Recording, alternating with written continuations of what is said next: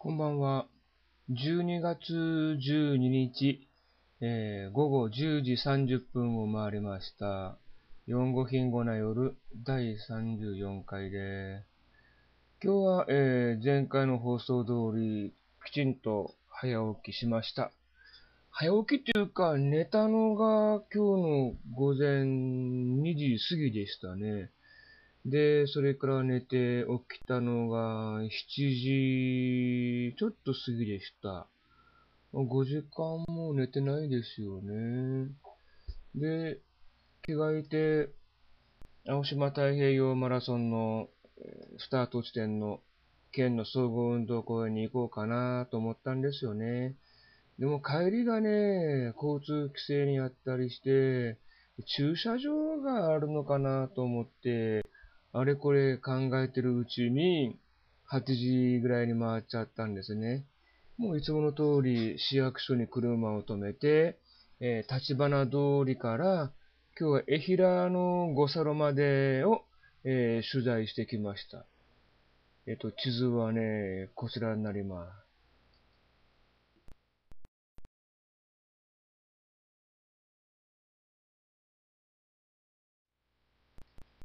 この地図の赤いところ、ちょっと待ってくださいね。これはどれかな？これかな？あ、違った違った。まだ操作慣れてません。これは、ああ、これか。この、えー地図の左側にある赤いところですね。えーそこを、えー取材しました。こんな風に置けばいいのかな？右側の上の方がスタート地点で、ぐるーっとカーブして国道220号線を通っていって、大井戸川を渡って、市役所、で、県庁前、楠並木通り、立花通り、で、デパート前を通って、江平に行って、えー神宮。神宮が折り返しになりまして、そのまま来た道を帰っていくということでしたね。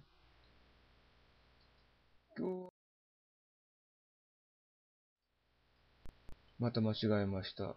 今回はですね、うんと、これかな。県庁前楠並木通りを、えー中心に、えー取材をしました。ちょうど県庁の本館前を通るってこともあって、またあの、上りと下りの選手が交差しますので、結構市民の方の応援も多いんですね。で、今回はここの楠並木通りを中心に、えー取材しました。あの、YouTube の方に動画が載ってますんで、また後ほど動画の方もゆっくりとご覧ください。また、いつもの通り、僕の定番なんですけど、ここですね。立花通り5丁目の歩道橋の上から、あの、撮影しました。えー手を振ってくれと言って、えー選手の皆さんに、えー手を振ってもらいました。ご協力をありがとうございました。それも動画の方に入ってますんで、えゆっくりとご覧ください。で、県庁前を通るコースっていうのは、えー知事が発案したんですよね。あ、ごめんごめん。あれ？これなんだ？これはいい。これ紹介しません。恥ずかしいので。あれ？あ、これか。じゃないじゃない。あ、これですね。はい。そう、この県庁本館前の楠並木通りのとこを通ったんですね、先生のさんは。ね、ちょうど今、えー県知事選、第18回の宮崎県知事選挙が始まっているんですが、さて、このね、次の知事は一体誰になるんだろうかということをね。あまり選挙戦ってそんなに盛り上がってるような感じはしないんですよね。この次、えーこの椅子に座る人は一体誰なんだろうって、え4人ほど立候補しているんですけれど、あの、各支持団体、経済団体は、4人からね、推薦願いも何も来てないから、どうしようって、どうやって応援しようかと、応援しなくてもいいのっていうふうに、あの、困ってるそうですね。えー、4人の候補者はそれぞれ独自に、あの、選挙運動を展開してるんですけれど、まあ、いち早く立候補しますと挙げた元副知事さんが一番有利かなと思っているんですけれど、なんかいまいち個性がないというか、あまりパッとしないというか、うん、どうなんでしょうかね。まあ人間性はわかりませんけれど、まあ人当たりの良い人なんで、まあ一番いいのかなって気もするんだけれど、ちょっとパッとしませんね。で、共産党の方もね、一応政治家で、え政党人で、えー、きちっと対応してやってらっしゃいますけど、んどこまで共産党の支持率が、支持票が集まるのかっていうのもわかりません。で、それと、サイトの農業の方。この方ね、ちょっと独自に選挙戦を行うということで、どんな政策を持って、えー、牽制を行っていくのかっていうのが全然見えてきませんね。ただ、その、皇帝からの復興を図りたいとか、いろんなことは言ってるんですけれど、あの、地元新聞の方にも、あの、記事としてね、きちんと政策が書いてあるとか、そういうのが全くないんですね。僕ら有権者からすれば、4人立候補してるんだからね、4人ともきちんと、あの、文面で、こんなことやりますと、指示をお願いしますって言わないと、独自に選挙戦を行おうって言われても、じゃあ一体誰が支持するのって、じゃああんたなんで立候補したのっていうことになっちゃうんですよね。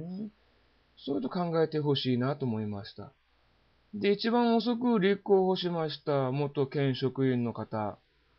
遅かったですよね。なんかその、行政経験が豊富だっていうことが PR 売りにしてますけれど、だったらもっと早く言えよって、早く手挙げろよと。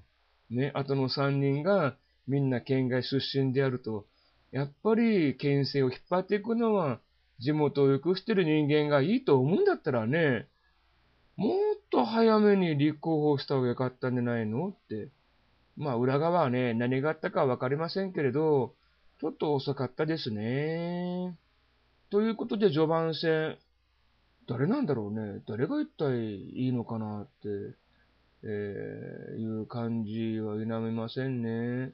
まあ、あの人が言っちゃろうっていうふうに、割と宮崎県民っていうのは人の意見に採用されやすいので、ああ、もうしょうがねえな、もうあの人がいいんじゃねえかっていうふうな、軽く考えるんですよね。その軽く考えたことが、後の4年間、どんなことに影響するのかってことを考えないといけません。今度12月の17日夜の7時から公立大の方で、えー、合同で、えー、個人演説会を行うということなんですね。ただ、ここにも、あの、農業の方は来ないんですよ。なんで来ねえのって、ね、いう感じはするんですけれど、まあ、3人の方の演説を、えー、聞きに行きたいと思ってます。あの、今回、その若い方に聞いてほしいということで、大学を会場にやってるんでね、僕らおっさんが参加できるのかなという気がしますけれど、まあ私は取材として、明日、えー、取材の申し込みをしようかなというふうに思っているところでございます。ぜひ、あの、市民の方、県民の方、え19日には、え、都城の方でもありますので、ぜひ演説会に参加してください。で、ちょっと見極めましょう。一体誰がいいのかと。本当でいいのか？あの人で。いや、もっと考えようか？っていうことをね、ちょっとお互いどんどん県民レベルで意見交換し合うような場っていうのは必要じゃないかなという気はしますね。だからもうなあなあね、なあなあでやっちゃう宮崎県民選っていうのは、もう返上しないといけないと思います。ね。だから、ちょっと皆さん、頑張って投票しましょう。投票するための行動をしましょう。え自分で調べて、分析して考えましょう。もう自分でやりましょうということをね、身につけましょう。ということで、今日はもう疲れてるんで、このぐらいにしたいと思います。はい。